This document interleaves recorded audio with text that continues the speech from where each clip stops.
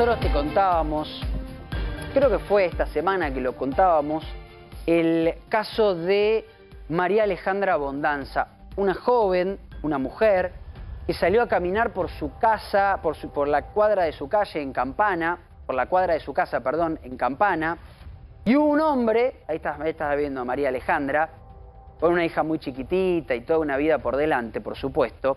Cuando salió a caminar, hizo pocos pasos, la agarró un vecino, la hizo entrar a la casa con alguna excusa y adentro de la casa, adentro de la casa la asesinó.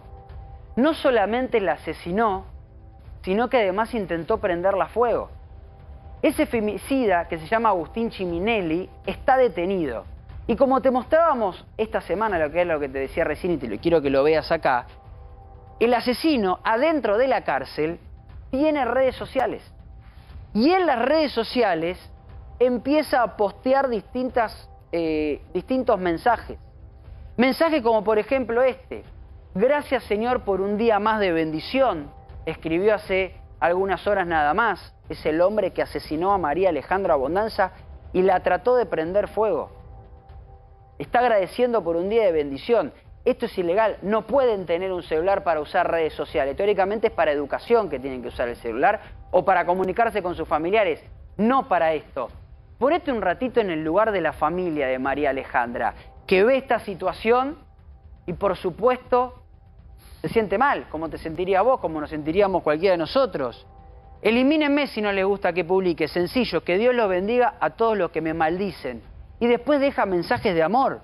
Hagan sus vidas y no me jodan que estoy pagando mis males. Quiero saludar a Marcelo, que es la expareja de, de María Alejandra. Hola Marcelo, ¿cómo estás? Buenas tardes. ¿Cómo estás? ¿Cómo estás? El- no, la pareja, la pareja. La pareja, la Eso, pareja, última. tenés razón, perdóname. Eh, lamentablemente. Sí, La la, verdad es... Eh, ¿Cómo estás? Bien, te, te pregunto qué sentís, cuando, porque la verdad que a todos nos indigna, ¿no? Digo, que un femicida esté en la cárcel agradeciendo por los días que está pasando, escribiendo en redes sociales cuando no lo puede hacer, a todos nos indigna. Me imagino a vos, que eras la pareja, No, la verdad que es- te asesinaron a, a- a tu compañera de vida. Sí, es, insólito, es insólito. Esto nunca pasó.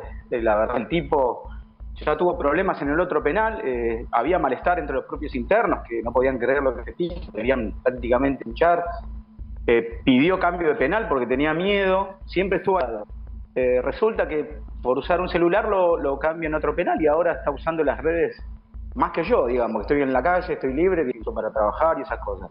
La verdad, tengo mucha bronca, odio. Yo vengo haciendo un duelo hace tiempo y la verdad que te comento, mira, estuve un mes sin cuando voy a conectar tengo miles de mensajes de chicas, eh, amigas, otras no, que este tipo le mandaba mensajes, eh, solicitud de mitad, un psicópata.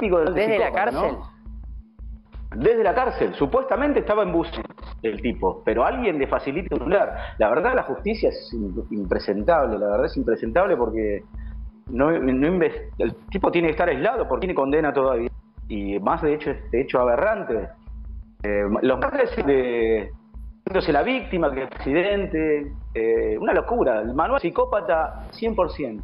Y la verdad que eh, estamos mucha bronca, generó mucho odio en la sociedad y la justicia está haciendo la plancha, ¿viste? Y se demora el juicio, las lentes para él y para las para los padres que fueron cómplices y lo fueron hicieron el trabajo sucio, ¿no?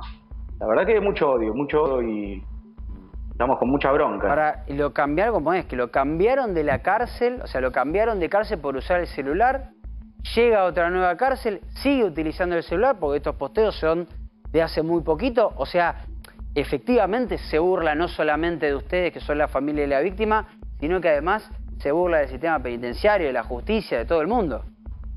Se burla del sistema de justicia, se burla del juez, se burla de la fiscal, se burla del sistema penitenciario.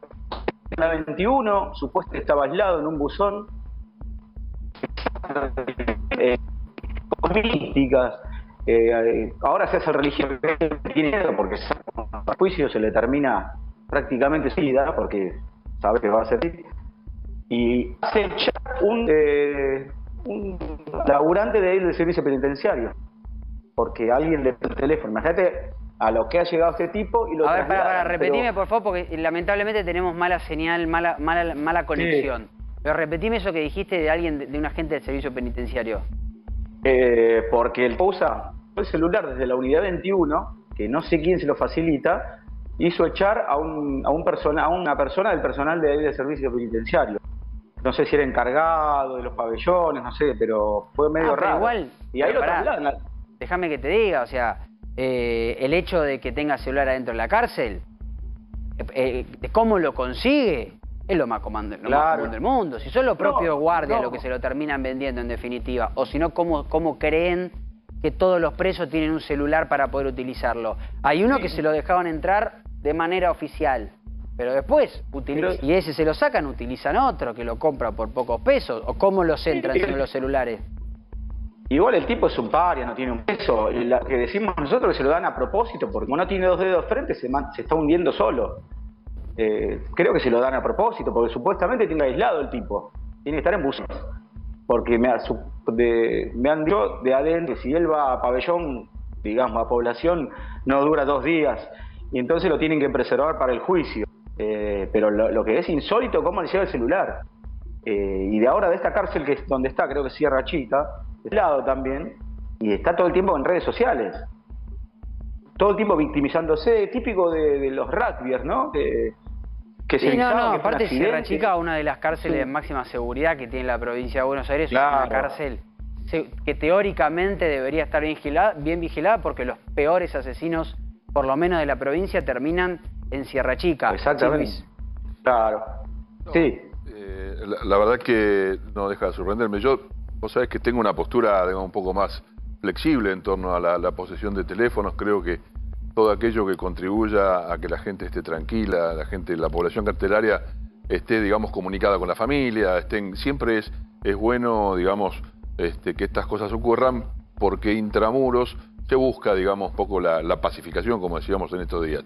Eh, y para evitar conflictos y que los contactos, lo que pasa es que hay usos y hay abusos. Hay gente que los usa bien y hay gente que se abusa y, y paga muchas veces justo por pecadores, porque no, no todo el mundo hace este tipo de estupideces. No, no, no, por supuesto, pero cuando vos terminás Eh. postea- Sí, dale, dale, dale, Marce. Sí, no, yo está claro que no estoy en contra de que, que los presos tengan un celular cuando ya eh, con su condena libre ya está cumpliendo su pena. Pero este chabón tiene que estar aislado.